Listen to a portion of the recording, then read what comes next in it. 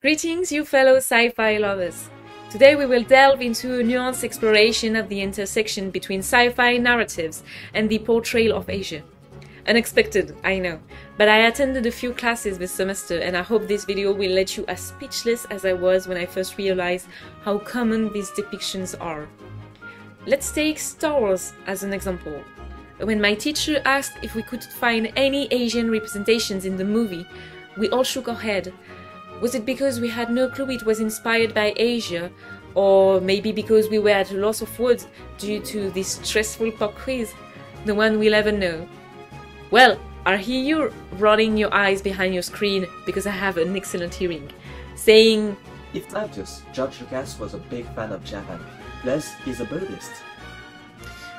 Okay, Mr. Know-it-all, did you know that the term Jedi comes from the Japanese term jidaigeki, a term used to designate the period dramas with samurais. Or perhaps have you noticed that most of the names sound Asian? Yoda, Anakin, Obi-Wan Kenobi, that may be the most obvious one. But we had no clue. We're all in our sci-fi bubble, vibing with the force, and turns out the names are sneakily tied to Asia.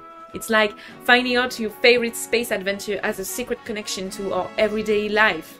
Mind blowing, isn't it? Yeah, but why is it a big deal? Well, it hints at something deeper. When we scratch the surface, it reveals how we've kinda accepted that Asia equals the unknown, the exotic, the strange.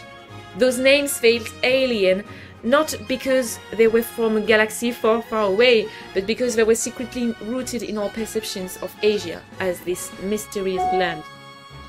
It's a wake up call, making us question why we find certain things strange or foreign. Unraveling these hidden ties challenges us to rethink how we view Asia, not just in sci fi, but in the real world too. So, the next time you hear a Star Wars name, remember it might just be a subtle reminder of the larger narratives we've embraced about Asia. So rather than a cosmic joyride, we'll be navigating the often overlooked shadows cast by these depictions, pondering how they contribute to a less than accurate understanding of Eastern cultures. Join me in a contemplative journey through Beyond the Horizon, sci-fi's impact on Asian perceptions. Let's uncover the less sunny side of the sci-fi spectrum and navigate sci-fi Asian stereotype galaxy together. First of all, let's jump into our personal views of Asia. There's a big chance that we all share the same. How do you picture an old Asian man? A bob along with a really long mustache, wrinkly and short? Okay, but it goes far beyond that. The portrayal of older Asian men in sci fi is quite restricted. Movies and novels often depict them as submissive and humble, and more often than not, they end up embodying the stereotype of martial arts masters, or senseis if you prefer.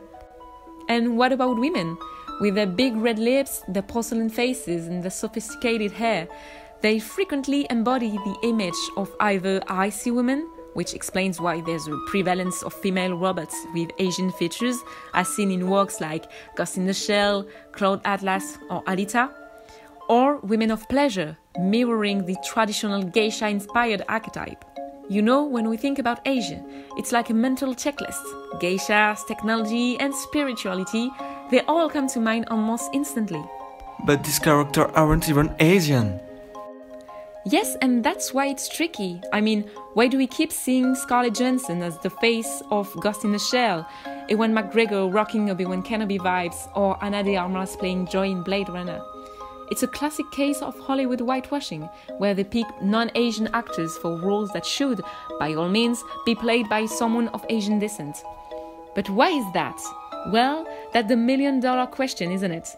Hollywood has this historical tendency to think that casting big name stars, even if they're not the right fit for the role, will bring in more cash at the box office. But these choices also reflects a far more concerning problem that goes beyond the simple will of earning money with big names of the movies industries. Alright, let me break it down for you. Back in the day, some Westerners got really intrigued by the East, you know, Asia, the Middle East, and all. But instead of truly understanding these places, they sort of created this fantasy version in their heads. They put on these cultural goggles that tinted everything with stereotypes and misconceptions.